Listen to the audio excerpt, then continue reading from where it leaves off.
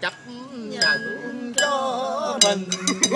Bỏ cuộc sống bên trời cô độc như là loài chim buồn à, lặng long giữa đêm rồi bà ơi nếu một mai bà có tránh nhớ đến kẻ đã cùng bà thề non hẹn biển thì xin bà hãy quay về nơi kỷ niệm và khóc cho nhau những giọt lệ ban đầu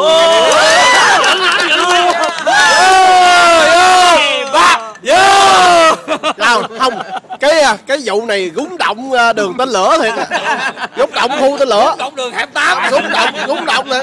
Rồi sao nữa anh? Rồi sao nữa anh? Tiếp tiếp. Giữ à giữ à. Anh phải giữ à. Cái này là mất cái chỗ nữa? đúng đúng chuyện gì? Rồi sao nữa anh chính nhưng mà cái này à bây giờ cái đoạn này ca là cái cái cái, cái hơi nó khắc phục. Tôi tôi tôi sẽ phụ tiếp anh chính xíu. Rồi, rồi, rồi, rồi, đứng lên ca. nhưng mà nó bà ơi. Dí như tôi bà. Bà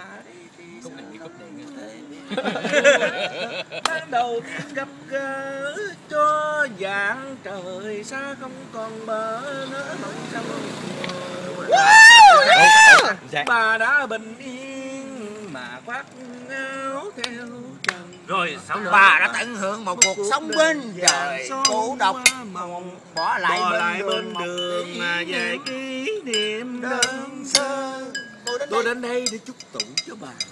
Đêm hôn lễ được vô vàng hạnh phúc. Rồi sáu nữa? Rồi sao nữa anh? Rồi không quên nữa? quên. tiêu cúp điện lúc này mình cúp điện cho vàng trời xa mở ngỡ bờ ngỡ mong sông hồ. Ừ.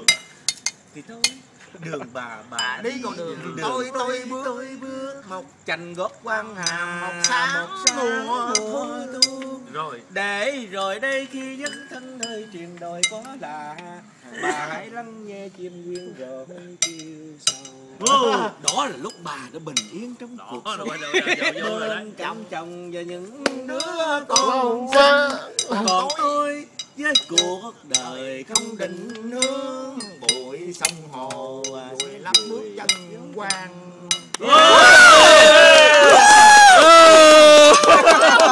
mình nhắc lớp theo nước thôi cái đó là máu nhậm sinh chùa còn cái đêm lạnh chùa quan á nó vậy nè cái khúc mà anh anh bảy à Anh làm đêm lạnh chùa quan lên bảy.